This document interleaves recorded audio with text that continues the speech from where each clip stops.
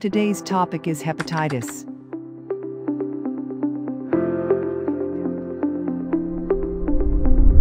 The liver is the largest organ inside the body. It serves numerous critical functions within the body. Hepatitis may progress to a healthy liver, fatty liver, liver fibrosis, and liver cirrhosis. Most hepatitis is caused by viruses and is classified as hepatitis A, B, C, D, and E. Hepatitis viruses A, B, and C are the most prevalent.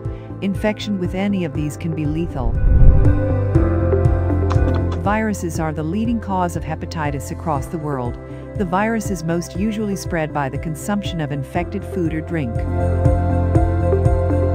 Shaving razors, syringes, needles, and semen.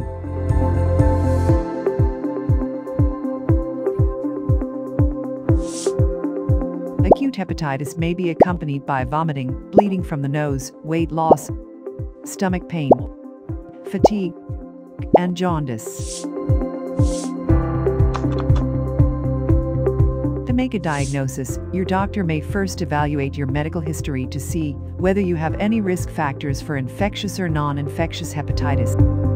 An abdominal ultrasound may also be performed to examine your liver and the organs around it. Liver function tests can also be performed to see how well and efficiently your liver is working.